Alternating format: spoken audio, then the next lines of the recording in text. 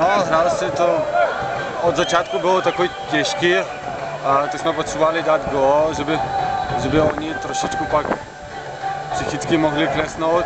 No, nám se podařilo v druhém poločase po hezký kopnutý rohový kop po rohu a jsem za to šťastný, že jsem, jsem dal ten gól a dali jsme na vedení a pak už to hrálo si, hráli se to líp.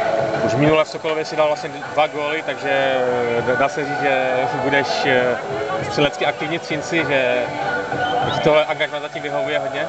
No, tak já jsem rád za to, že se, to, že se daří, protože předtím dva roky jsem, jsem moc mě se nedařilo, tak budu, budu všechno dělat, že by tak, tak pokračovat dál. Jasně.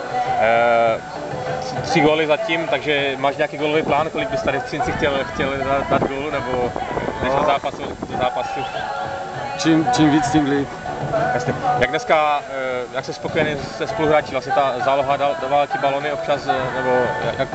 První, čo, první poločas bylo takový těžký, jsme nemohli jsme dostat při zálohu, jsme hráli docela aktivně, soupeř a druhý poločas už oni asi trošičku klesli fyzicky a už to, to začalo se nám líp hrát i ve prostředku, měli jsme víc, víc místa a, a víc, víc prostoru naběhat a to hrál se líp už. Další zápas vás čeká ve Zlíně, který ještě loni hrál ligu. Co od toho zápasu tak čekat? Těžký soupeř. To určitě bude těžký zápas budeme dělat všechno, že by, že by neprohrál tam ve Zlín a přivést minimálně bod. Mm-hmm. Uh...